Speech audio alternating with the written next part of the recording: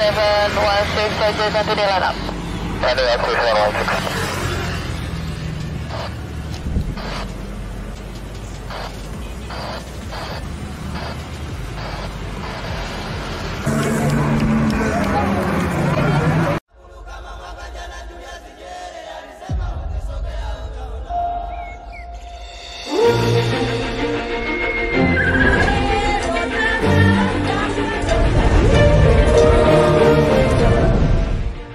Selamat datang di KTT ke-42 ASEAN di Labuan Bajo, Indonesia. Mari bekerja keras menjadikan ASEAN Matters epicentrum of growth. Konferensi tingkat tinggi KTT ASEAN kembali digelar Tahun ini Indonesia terpilih menjadi ketua sekaligus tuan rumah KTT ASEAN ke-42. Lantas, apa itu KTT ASEAN? Apa saja yang dibahas dalam pertemuan tersebut? Acara puncak KTT ASEAN ke-42 digelar di Labuan Bajo, Kabupaten Manggarai Barat, Nusa Tenggara Timur NTT dari 9 sampai 11 Mei 2023.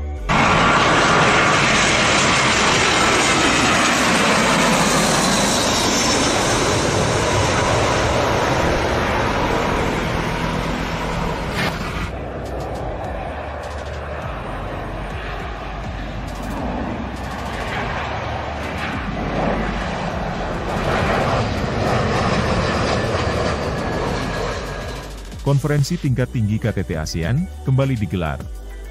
Tahun ini Indonesia terpilih menjadi ketua sekaligus tuan rumah KTT ASEAN ke-42. Lantas, apa itu KTT ASEAN? Apa saja yang dibahas dalam pertemuan tersebut? Acara puncak KTT ASEAN ke-42 digelar di Labuan Bajo, Kabupaten Manggarai Barat, Nusa Tenggara Timur NTT dari 9 sampai 11 Mei 2023.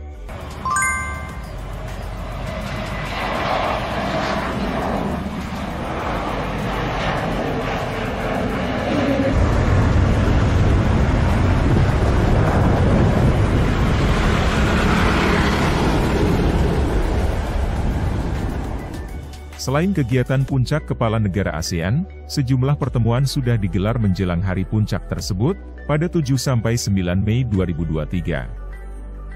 Berbagai persiapan terkait helatan KTT ASEAN ke-42 di Labuan Bajo telah dipersiapkan jauh-jauh hari. Bahkan, Presiden Joko Widodo juga telah memastikan kesiapan Labuan Bajo sebagai tuan rumah KTT ASEAN.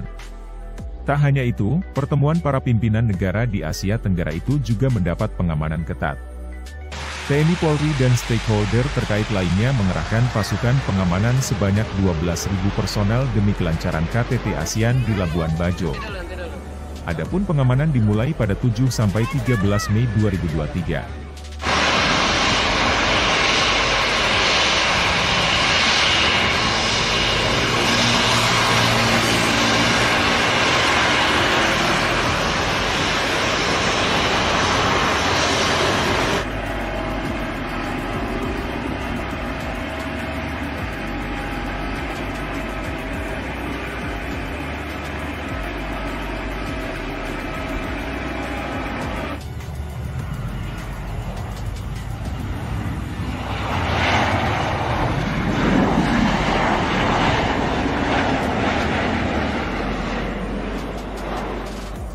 KTT ASEAN diselenggarakan setiap tahun oleh negara-negara anggota ASEAN. Untuk diketahui, ASEAN adalah perhimpunan bangsa-bangsa di kawasan Asia Tenggara. Asosiasi ini mengembangkan hubungan persahabatan, kerjasama, dan kemitraan yang saling menguntungkan dengan negara-negara dan organisasi serta lembaga subregional, regional, dan internasional. We don't think anymore too much about the economy and the problems and the security and the plan. And he's absolutely right. It's a very, very good idea. Adapun 10 negara anggota ASEAN, yaitu Brunei Darussalam, Indonesia, Kamboja, Laos, Malaysia, Myanmar, Filipina, Singapura, Thailand dan Vietnam. KTT ASEAN 2023 dihadiri oleh sejumlah pemimpin atau perwakilan negara-negara ASEAN, termasuk Perdana Menteri Timor Leste. Menteri Luar Negeri Retno Marsudi KTT ke-42 ini akan dihadiri oleh delapan leader, Sekjen ASEAN, dan Perdana Menteri Timor Leste. Sementara itu, Myanmar berdasarkan keputusan petinggi negara-negara ASEAN tidak diundang pada level politik karena konflik yang masih melanda negara tersebut. Sedangkan, Perdana Menteri Thailand menyatakan tidak dapat hadir dalam KTT ASEAN ke-42 mengingat pemilu di negara tersebut akan berlangsung pada 14 Mei.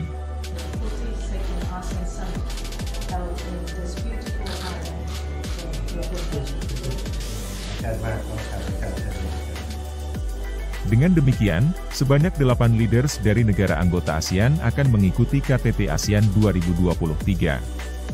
Kedelapan kepala negara tersebut terdiri dari negara Indonesia, Brunei Darussalam, Kamboja, Laos, Malaysia, Filipina, Singapura, dan Vietnam.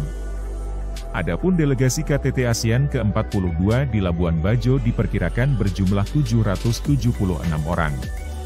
Selain itu, KTT ASEAN juga akan dihadiri sekitar 400 jurnalis dari media nasional maupun internasional. Presiden Joko Widodo meninjau media center KTT ASEAN ke-42 pada Selasa 9 Mei 2023 kemarin. Diketahui, media center KTT ASEAN ke-42 terbagi menjadi dua ruang kerja untuk awak media selama peliputan pertemuan tingkat tinggi tersebut. Jokowi juga meninjau ruangan konferensi pers yang terletak di halaman belakang Hotel Bintang Flores yang berdekatan dengan ruang kerja kedua awak media peliputan KTT ke-42 ASEAN. Kehadiran Jokowi di media center ini pun menjadi kejutan tersendiri bagi awak media yang tengah bertugas. Salah satu wartawan yang bernama Venga Deswara bahkan mengaku senang dengan kehadiran Jokowi di tengah-tengah awak media. Ia juga menyebut kedatangan Jokowi ini sebagai hal yang tidak biasa dilakukan oleh seorang kepala negara. Yeah, so earlier when uh, President Joko Widodo came, I was very pleasantly surprised because we all did not expect it. Uh, we were all busy in work, and then all of a sudden we saw the President of Indonesia, and I think we are all very happy to see him. Uh, immediately, all of us whipped out our cameras, our mobile phones, and we were all trying to record. I think some of us wanted to take a selfie with him uh, because he was so close to us. Uh, it's not something that you usually expect from a president. Selain menyapa para awak media yang tengah bekerja, Jokowi juga sempat menyapa beberapa petugas operasional media center. Dirjen IKP Kominfo Usman Kansong menyatakan, tercatat sedikitnya 436 jurnalis nasional maupun internasional yang sudah berada di Labuan Bajo untuk melakukan peliputan KTT ASEAN ke-42. Pada keketuaan kali ini, Indonesia mengangkat tema ASEAN Matter Epicentrum of Growth. Tema tersebut bermakna bahwa ASEAN relevan dan penting sebagai pusat pertumbuhan dunia. Dalam keketuaan Indonesia kali ini, Indonesia juga mengajak negara-negara ASEAN berperan aktif dan menawarkan ide serta solusi bagi perdamaian dan kemakmuran regional. Pemimpin negara-negara di Asia Tenggara tiba di Bandara Internasional Komodo Labuan Bajo untuk menghadiri perhelatan konferensi tingkat tinggi atau KTT ke-42 Selasa 9 Mei 2023. Perhimpunan bangsa-bangsa Asia Tenggara tersebut meliputi Brunei Darussalam, Kamboja, Vietnam, Indonesia, Laos, Malaysia, Myanmar, Filipina, Singapura, dan Thailand. Indonesia akan menjadi tuan rumah untuk pertemuan para pemimpin blok tersebut pada 9 Mei 2023 hingga 11 Mei 2023 di Labuan Bajo, Flores. Bandara Komodo tampak sibuk dengan hadirnya pesawat-pesawat kenegaraan dari anggota ASEAN seperti halnya pesawat Presiden Kamboja, Malaysia, dan Timor Leste. Mereka disambut dengan tarian daerah saat menapaki tanah Indonesia. Adapun Presiden RI Joko Widodo sudah tiba di Labuan Bajo dengan menggunakan pesawat kenegaraan dominan merah. Jokowi langsung mengecek kesiapan panitia KTT ke-42 ASEAN, salah satunya adalah fasilitas RSUD Komodo. Nantinya, Jokowi akan memimpin tujuh dari delapan pertemuan yang menjadi agenda KTT ke-42 ASEAN. Adapun pertemuan yang akan dipimpin Jokowi yakni sebagai berikut.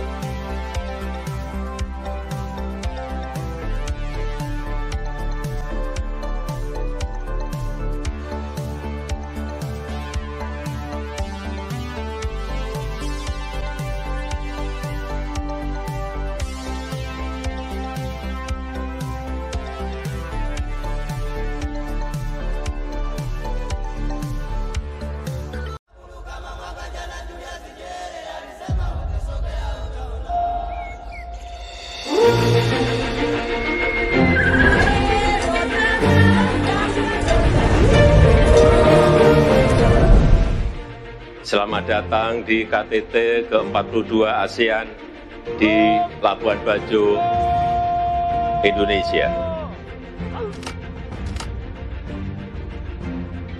Mari bekerja keras menjadikan ASEAN Matters epicentrum of growth.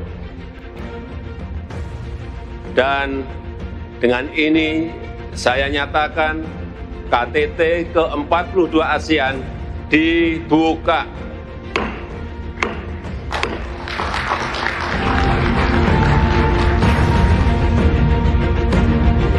Então eu queria aproveitar esta oportunidade agradecer profundamente ao Sr. Presidente Joko Widodo, ao povo indonésio, todo o apoio que deu ao meu país para finalmente ser parte desta grande família, a família da ASEAN.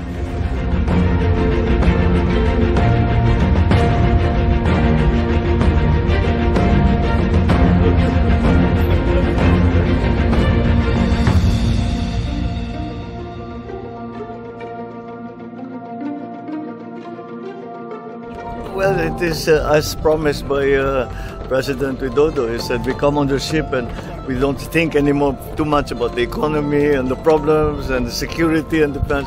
And he's absolutely right. It's a very, very good idea to clear your head so that you can go back to work refreshed Now romantic. and romantic. Very nice. So far, very calm, very smooth. We're looking forward to seeing the sunset. And we're very happy you can see the sun. I think it should be quite spectacular.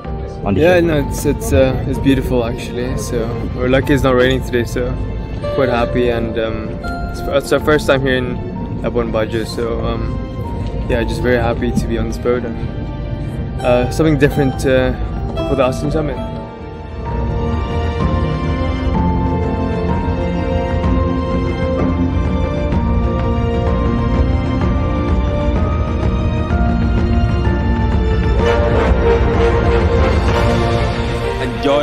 Uh,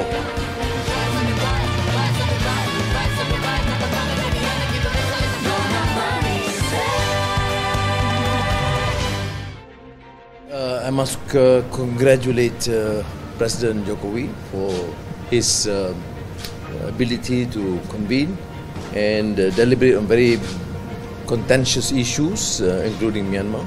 Well, it is a good uh, opportunity for leaders to engage formally and informally in a more relaxed manner.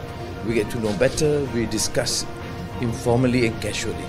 Thank you, uh, Pak Jokowi and Indonesia.